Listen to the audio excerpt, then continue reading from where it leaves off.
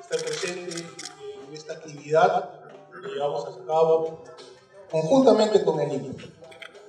No, no, es un, no es una actividad solo de defensa pública. Es una actividad que realizamos con el INPE, con el apoyo del INPE, con el apoyo del viceministro, del ministro. Por eso yo quiero agradecer públicamente a las autoridades que nos acompañan, a mis directores distritales, que hacen el esfuerzo por venir a estas campañas de beneficios penitenciarios para apoyar a la población que se encuentra en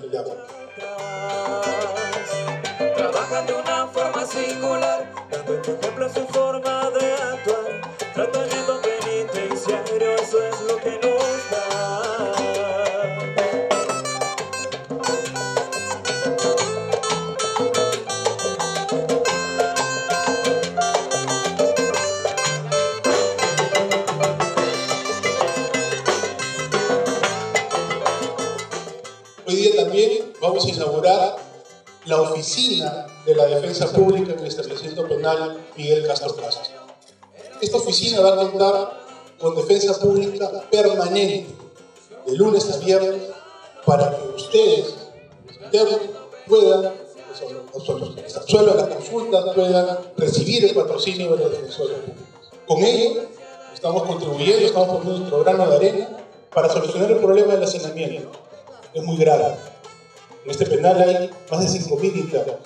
Pero internos que ya muchos de ellos deberían acceder a los beneficios penitenciarios.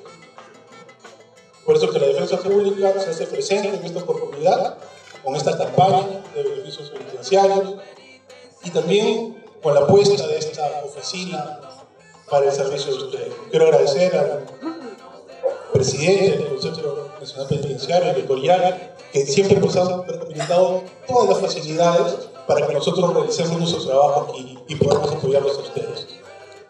El Ministerio de Justicia, la Defensa Pública, una vez más se hacen presentes para este servicio. Avisen en todos los pabellones aquel que podría tener un beneficio penitenciario, una escarcelación anticipada o un tema legal de otra índole, la defensa pública se va a instalar acá de manera permanente y estamos seguros que pronto también monitorearemos los buenos resultados. Muchas gracias por esa iniciativa, Walter, y muchas gracias por el apoyo. Ponle punche y ganamos todos Perú. Gobierno del Perú.